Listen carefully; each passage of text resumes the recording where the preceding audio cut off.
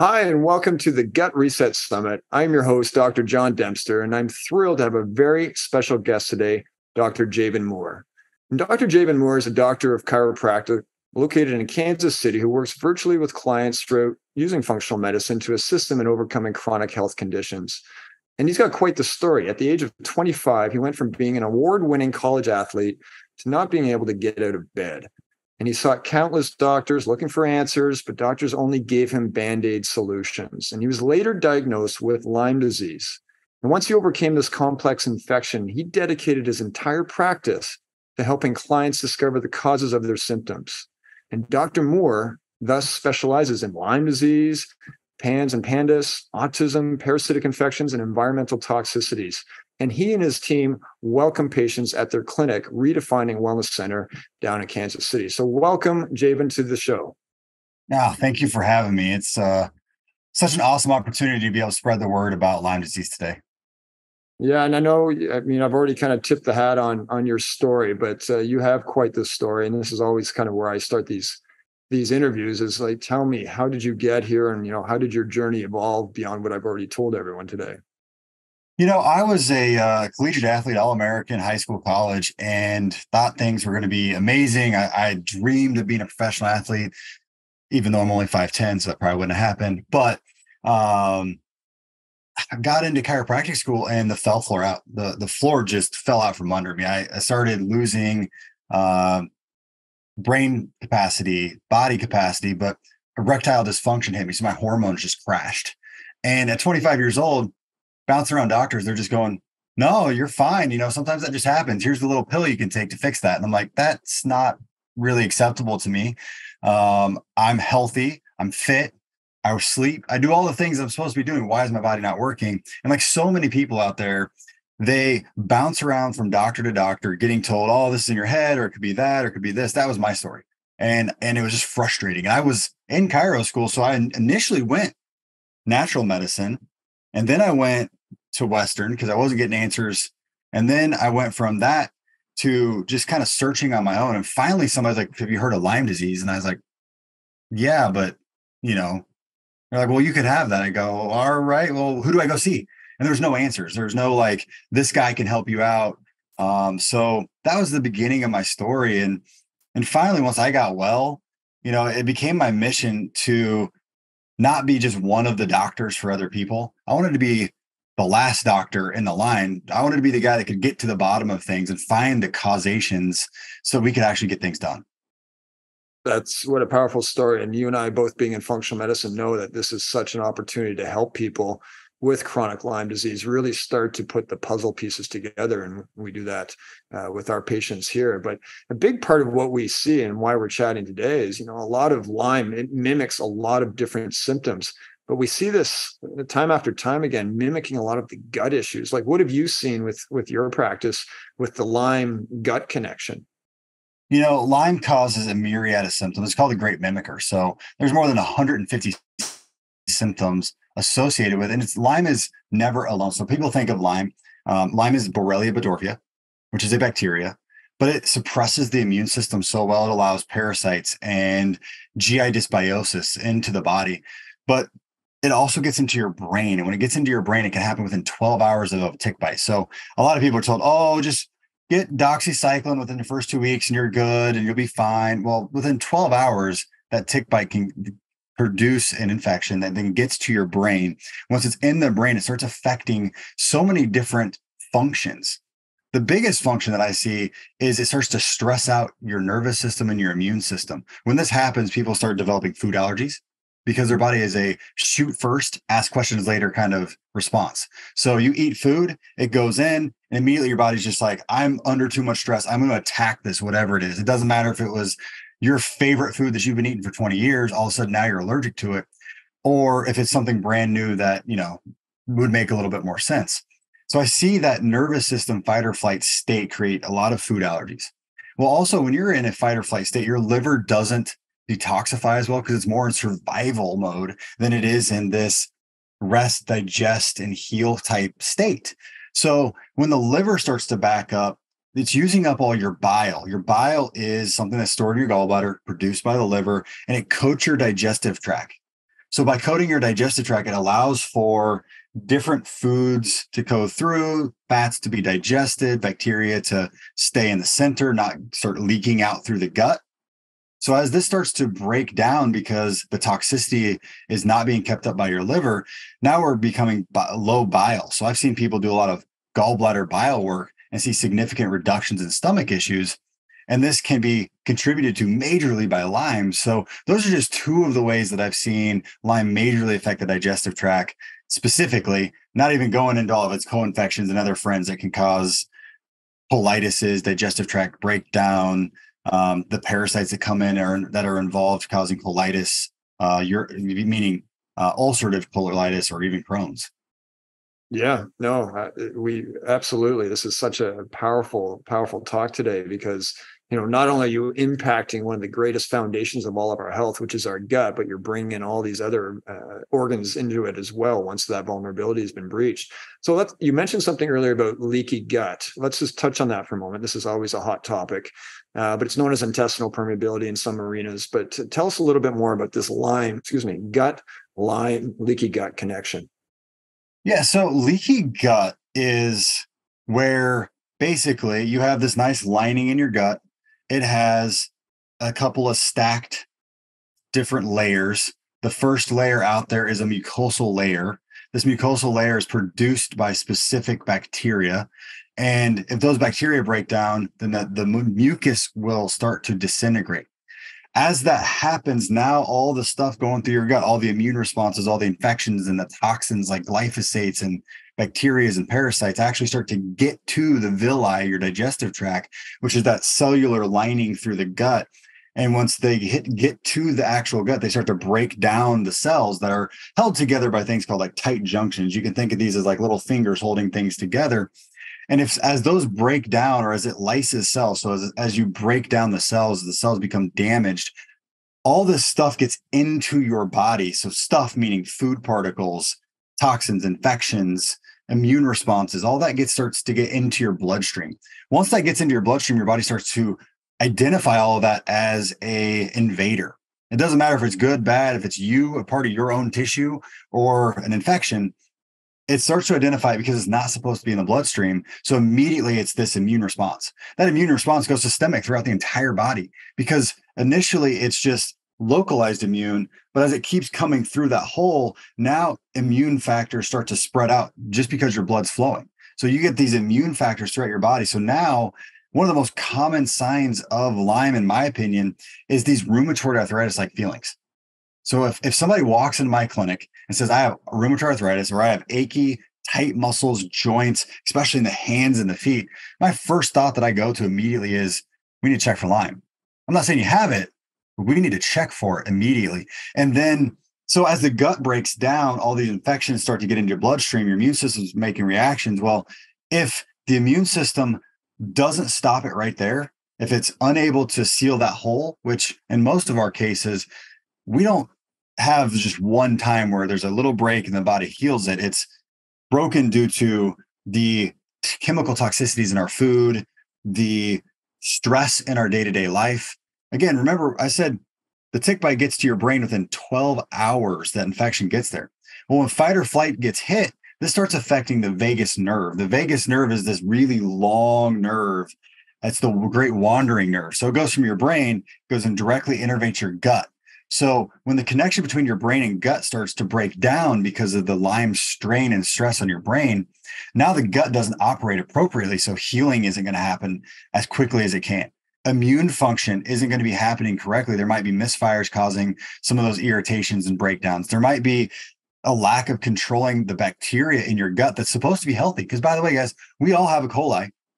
We all have some H. pylori and 40,000 other named bacteria that can be either healthy, symbiotic, beneficial, or they can be pathogenic and damaging. And that's it's not necessarily you cognitively as a choice. It's your body working synergistically or in sort of some equilibrium with these organisms to keep them healthy. So Lyme starts to dysregulate the nervous system, the vagus nerve, which leads to the breakdown of communication, which leads to opportunistic infections, which means the ones that are normally in your gut they can even be healthy commensal bacteria. running rampant, causing damage to you. So I know I just named a few different ways that it can affect your body because Lyme is such a weight on your system. It affects you in so many different ways. I mean, I have so many questions. Uh, this is fascinating, and uh, you know, I we're going to get into this here. But you mentioned earlier, you know, to get detect to detect Lyme properly means to test properly. And I've had so many patients, probably like yourself, come through and they say, "Oh no, my doctor, you know, they tested me for Lyme, and I don't have it." but there's different ways of testing for Lyme. Can you elaborate on you know what tools and what markers should we be looking for, or what labs even are going to be helpful? Because I think we also have to distinguish that there's a big difference, as you mentioned earlier, between acute Lyme, so something you see the tick bite and we notice something within a few hours, and hopefully that's the case because that way we can get on top of it. But then there's something called chronic Lyme, which is such a big bigger different presentation altogether. So let's let's just kind of walk that back here. How do you diagnose your patients with lyme disease? So the standard right now for diagnosis of lyme is actually symptomatic but there are some labs that are starting to come along. So let's just throw out a few symptoms. If you have these symptoms consider lyme. It doesn't mean you have it because there's so many overlapping infections out there but that's what my job is. That's what your job is is to identify people's symptoms have your differentials possibilities there and then go figure it out. So if you have Lyme, a lot of times it's those achy muscles, like I was talking about. You get a headache along the backside of your head. This can be due to Lyme or the co-infection Babesia. That's super common. About 40% of people with Lyme have it. It's a parasite, by the way. Um, if you have heart palpitations, a lot of people talk about this pericarditis that is caused, so inflammation around the heart that is caused by Lyme disease. Um, and then from there you can get your more common symptoms that that cross over too many places which is fatigue and brain fog which of course if you're getting an infection in your brain it's very strongly going to cause this. And then we can go from there where you actually start seeing people deal with a lot more just weakness and their body like muscle weakness because your body's using a lot of energy up to deal with these infections. And the most common one that everybody talks about is the bullseye rash but the bullseye rash only happens in about 40% of the people that actually get bit by Lyme disease. And not to mention this, you could have had a bullseye rash when you were six, no one noticed it. And now you're 20 and you have a, a major stressor in your life that weakens your immune system. And now that infection's opportunistic and takes over. So that's that's why sometimes it's missed, even if you actually had it. And again, only 40% of people actually have it. So mm-hmm. that's the symptoms. And there's, like I said, it's a great mimicker. There's 150 symptoms. Those are some of the starter points. Now, lab wise, when you get into the labs, the most known one is the Western blot or the ELISA that the CDC has backed. Well, the CDC came out, and I believe it was like 2015, said, Hey, we tested all these people, and about 25,000 were positive, but we think more like 300,000 to a million people were infected. I'm going, wait a minute. So if you got 25,000 and there was a million infected, we're at what, like less than 8% functionality of this test, that's pretty crappy. So that test for me is just don't even run it. It's not worth your time. So then it goes, okay, what other tests are there? There's IGeneX, which has been the gold standard for as long as I've been practicing, so a decade. But it actually just got surpassed by another company called Vibrant America for its sensitivity, uh, just slightly past. So it's still a great test, but Vibrant America is also a really good test. And it tests for if you run the full panel, all these co-infections like Bartonella, Ehrlichia, Babesia, several viruses, Mycoplasma, Strep A. So I really enjoy the Tick-Borne 2.0 panel from Vibrant America. It gives me a tremendous amount of information and it's the most accurate test that I can have, but it is not perfect. So make sure if you think you have Lyme, you go to find somebody who is well versed and understands Lyme, can do a symptom assessment. There's the Horowitz questionnaire, which is another questionnaire out there that you can take on your own.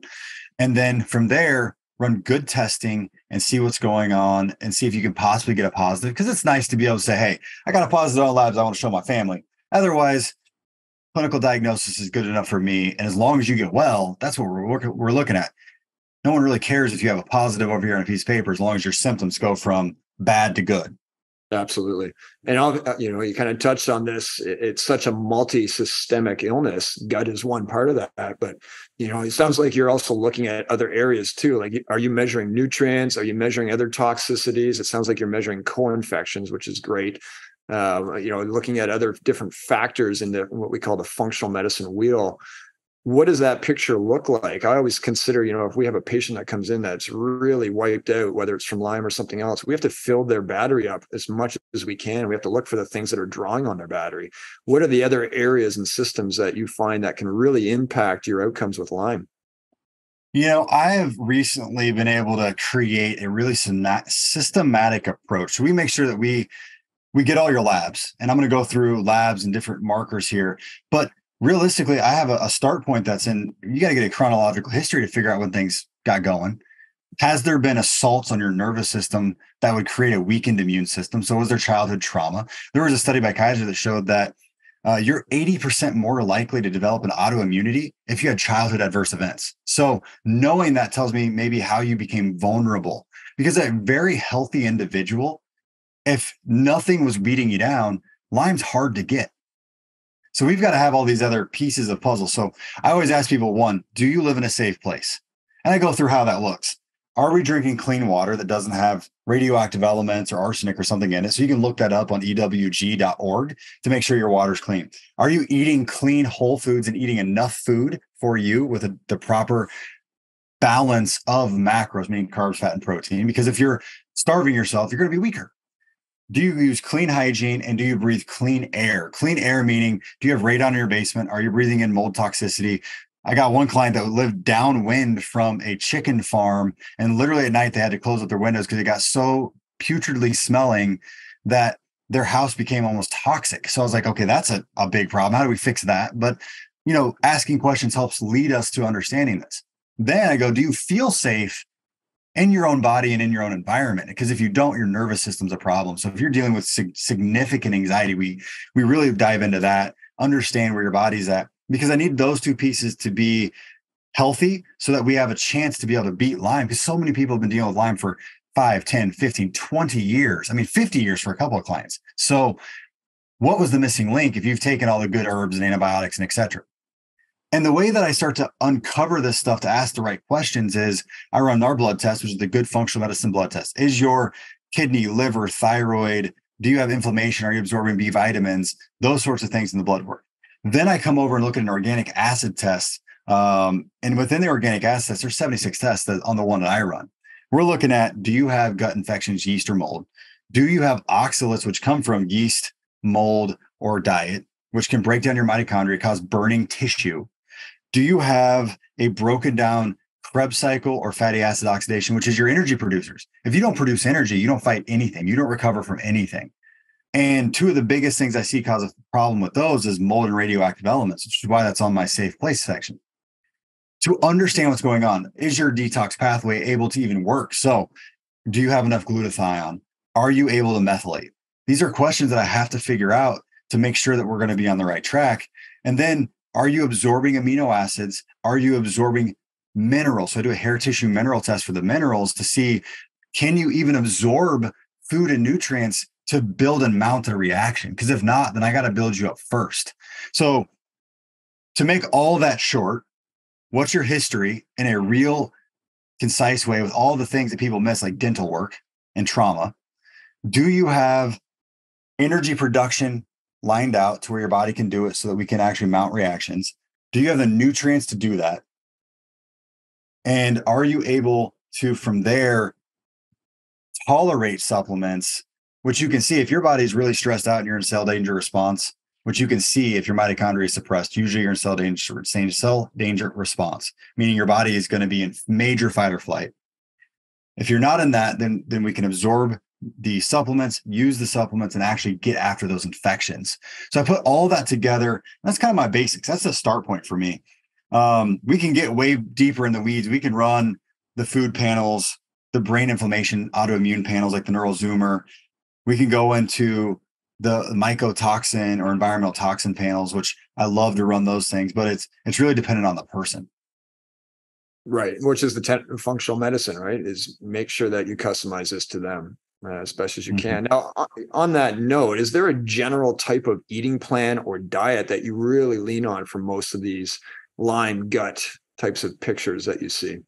You know, I've got this like funnel in my brain that comes down, right? The start of it is whole foods. The start is always whole food, organic diet, right? Like eating roughly balanced macros. So most people that I work with chronic illness don't do well on a ton of carbs. So we take their carbs down to about 33% fat and protein 33%. Really balanced. We're we're not doing anything wild. Now, for an individual if they're really sensitive, I might end up going more toward the keto or carnivore type diet because I've found that that is really helpful or even fasting. Mm-hmm. If they react a lot to supplements with rashes or um, histamine type things. So, so a lot of sinuses, I might put them on a histamine diet. If we see oxalates in their organic acid test, well, then we're going to do oxalate diet. So I really customize it. But the general gist is let's start with whole food. Like so many Americans today are just not eating that. Now, I bet that if we polled everybody listening to the summit today, about 80% are going to be eating probably mostly whole food because they've done the work to and they they committed the time and they're they're listening to us. So that's why I, I was given those more specific diets of like if you're hypersensitive we might go more keto carnivore. If you're histamine there's a histamine free diet. If you oxalates and you're burning we go oxalate. And those are the just the the transitions that i go between based on your labs and and the symptoms that you're reporting to me. And we may change. I never stick somebody on that long term because lifestyle diet is whole food organic symptomatic diet might be more specific. Right. Yeah. Uh, fascinating. And so, you know, back to just tie in something that we touched on quickly was that gut inflammation sort of conversation in Lyme. Like, let's come back to the inflammation and just unpack that a bit more. What what are you seeing on that front? Like, what what are the symptoms that can tell us if our gut is inflamed. I know we, we kind of looked at some of the Lyme symptoms, but do you have any symptoms that you look at, just checklist symptoms that are going to tell us if we've got some massive in, inflammation in our gut? Absolutely. So 70% of your immune system's in, in the gut is what the, the studies all say. It's what we all say here in, in medicine. So if you're having skin rashing, so having those histamine responses all over your skin, your face, reacting to food or food allergies, your gut's not right.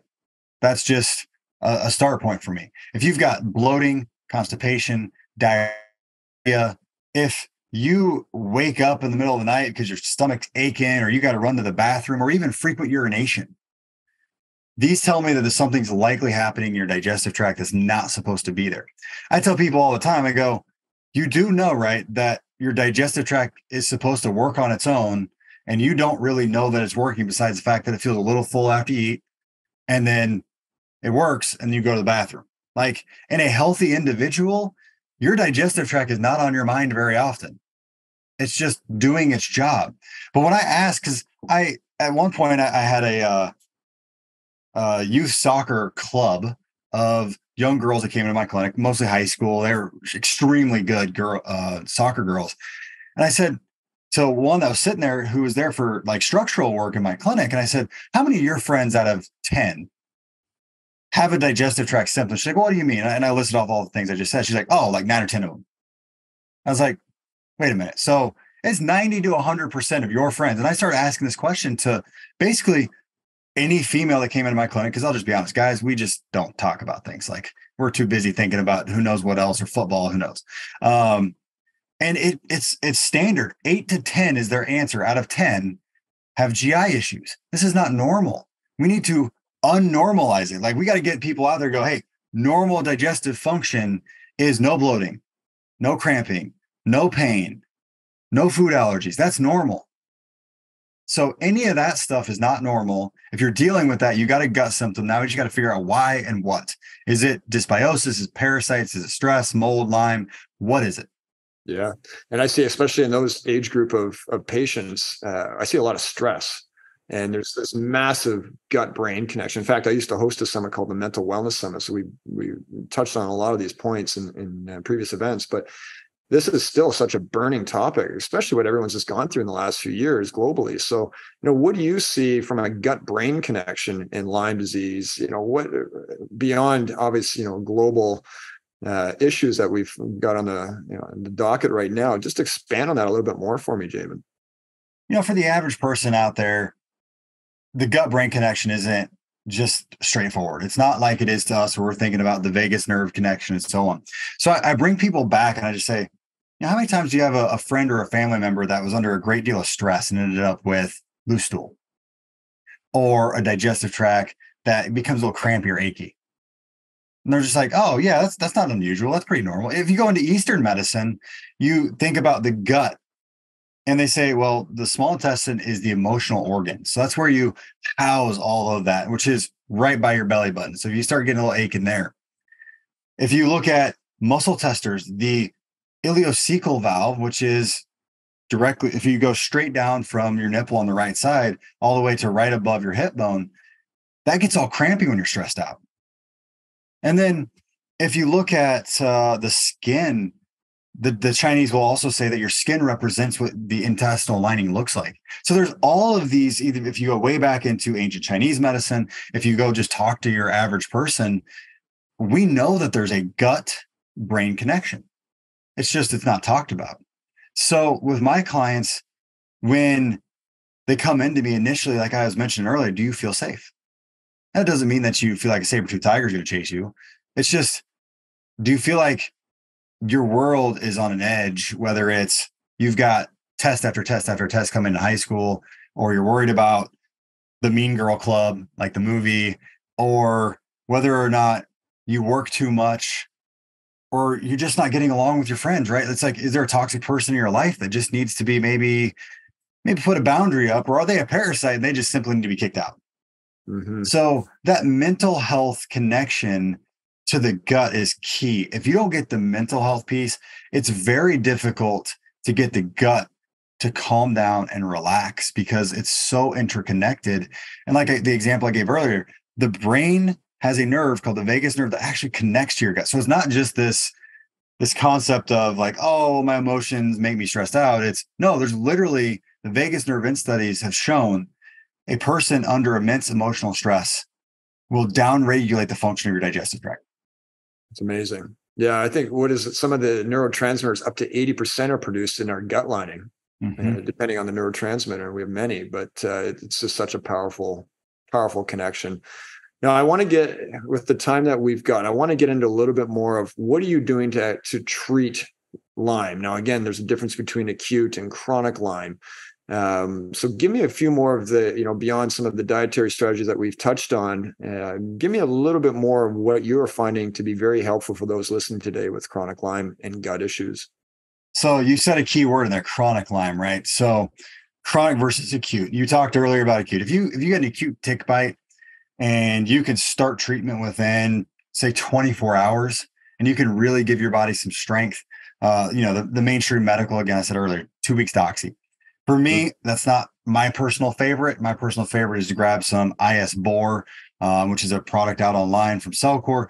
Grab that, get your sized dosing, and I do that for about two to four weeks. That usually helps me. It's not all inclusive though, because the thing that is missed is when a tick bites you, and it doesn't have to be a tick. It can be a spider, a tick, a flea, a mosquito, anything that is a insect borne vector, those are the most common ways to get Lyme. It can be sexually transmitted or even in embryo transmitted. So from your mother, just to put all that out there.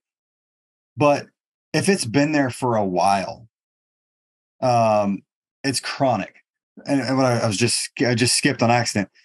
If you get bit by a tick, 12 infections have been shown to be able to be transferred in one bite. Those infections include viruses, bacteria, parasites, mycoplasma. So we've got multiple different types of infections. So two weeks of doxy is not going to knock all those out. Two weeks of IS-BOR cannot knock all those out. It's not designed for that.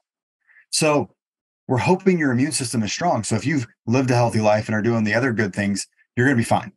But if you're not, that's when it comes to understanding where a chronic Lyme plays a role. And that's because when you don't touch on all of the different other infections, well, those take infection those take up house. You become their host.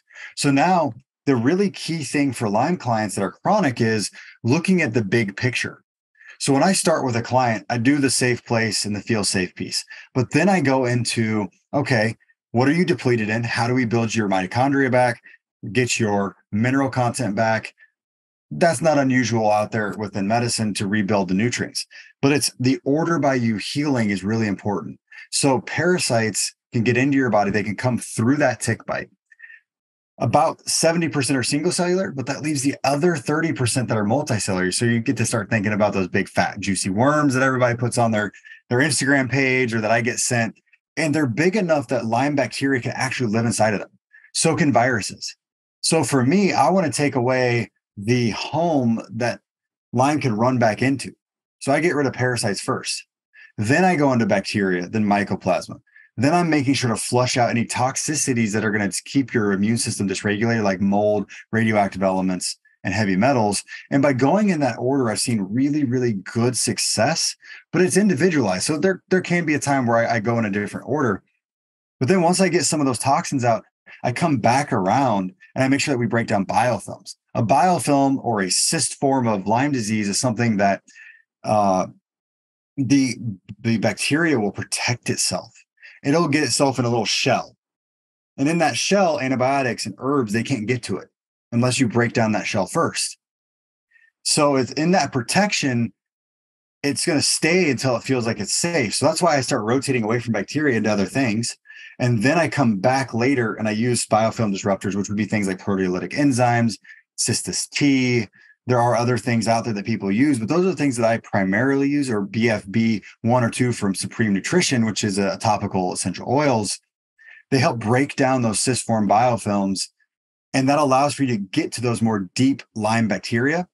So I'm I'm covering all my bases. And to be honest, once you've gotten rid of the majority of those pathogenics and majority of those toxins now your body's going to be strong enough that if a few bacteria come out of their cyst form, you're going to be able to take care of them anyway so although i'm touching on them just know that when you get your body optimal you're designed to stay well. You're designed to defend yourself and heal. Absolutely. Yeah and you touched on something that i just want to come back to massive massive conversation is biofilms. Do you assume that everybody has biofilms when they're dealing when you're dealing with lyme and co-infections are there any direct clues that would point you towards that uh, assumption more than others? So, if you're in chronic state, meaning you've been dealing with this for three to six months or longer, biofilms have been produced.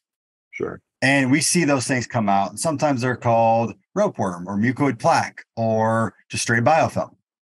And when I start working with people, even just supporting the liver, you start seeing mucoid plaques just start coming out oftentimes when I get to like a mold protocol and I've already done parasites, Lyme, and mycoplasma, you see this junk coming out. And I mean, it is, it can be a flood. I got clients that are just like, I had one guy and, and he was a, a chronic Lyme mast cell client. And he's actually the guy that, that helped me to learn how to do what I call the pulse method, which is a method I use for mast cell clients. I, I developed for them. We spent years trying to get his body ready for treatment. And then when we started getting it going, he started seeing all these things come out biofilm, mucoid plaque, ropeworm. Um, and he just loved it. So he measured it. In one summer, he got 300 feet oh. of this stuff out of him biofilm and just kept, I mean, it was just long. He was putting it into a bucket, a five gallon bucket. And I was just like, more power to you, man. Like, that's gross, but it, it's just like a win. Like, he was just celebrating the win. And he went from on a walker at 30 years old, had lost 60 pounds, couldn't work, couldn't walk five feet on his own. I had him start doing just some like at home exercises where I just had him like swinging his arms back and forth and then raising his arms up and down. And then um, I wanted him to just like kick his legs, but he couldn't do it standing. So he had to lay down on his back. He'd last 15 seconds. I got a video six months later. He waved his arms, flapped his, clapped his hands, jumped up and clapped his hands under his legs because we'd removed so much crap from him that he's finally strong enough to be able to function. I mean, it brought a tear to my eye. Like seeing this guy go from because we were like the same age, going mm. from walker to jumping up. I mean, just by removing all this biofilm and junk. Of course, we were doing protocols throughout this. It was just incredible. It must have honestly, Dr. Jaban, it probably triggered back to when you were sick too, and just yeah. gave you that huge wave of emotion speaking of the you know the rope worms i think the longest one a patient of ours had recently was six feet in one go mm-hmm. uh, and you know we do iv therapy so that can sometimes be quite aggressive to move them out but it, it, was like it was six feet long. That was one part. So for your patient to get 300 feet that's in, incredible. You know that's the definition of better out than in right? Heck yeah it is. Oh man i i, I still get pictures. And by the way um, for those listening uh, earmuffs if you can't handle this kind of conversation about stuff coming out. I've seen parasites while treating for my clients with Lyme come out of eyes, nose, and every other orifice, whether it's what we're talking about in the stool or even come out through urine. And then yesterday I had, uh, just even yesterday, she's like, could it be possible it comes out with menstruation? And I was just like, seen it before. So they can literally be anywhere in your body and they can come out anywhere. And when your body becomes healthy and it's no longer a host, when we make you the anti host, your body starts flooding them out from everywhere. Powerful. I love it. Wow. All right. Anything else we need to know about Lyme and gut from the expert, Dr. Jaban Moore? I feel like we've covered so many things. The biggest thing is this people on your Lyme forums, people out there that are struggling. You can't heal. I don't care if it's been six weeks, 16 years, or 60. I've had a client come in after 50 years. I mean, she doesn't remember being well as an adult. And we were able to flush her out, get her mitochondria back going, get her brain turned back on. And now she's enjoying her grandkids. You know, we don't want to tell our kids this more than her kids because she feels good. She's living well. She's out gardening and she's in her mid 70s now, right? Like she's not a, a spring chicken. You can recover. It is possible. You just simply have to figure out what your root causes are and what your body needs. And it has to be custom. There is no one stop shop, one treatment fixes all in this situation. Just keep fighting. And that's that's really that's really all I got to say on this is because Great. when it comes to Lyme, it's not simple, but it's beatable. And that's a beautiful ending to this. This has been a great chat, Dr. Jaban Moore. You know, thank you so much. Where do folks go to learn more about you right now? You know, it's my mission to educate. So we are on TikTok, Instagram, Facebook, and our website, and they're all Dr. Jaban Moore. And we're putting out information every single day on all of the topics I discussed today or touched on, because the last thing I want is for another person to spend a few years in pain, or in my case, pain and erectile dysfunction, and just getting depressed and just not know where to look. Like, at least if you can put a target on something, you have some hope and a direction. So, our goal is just to educate and give people that informed consent to make their medical decisions. Thank you for all that you do, Dr. Jaban Moore. Really appreciate you being on this summit today. Thanks for having me, man.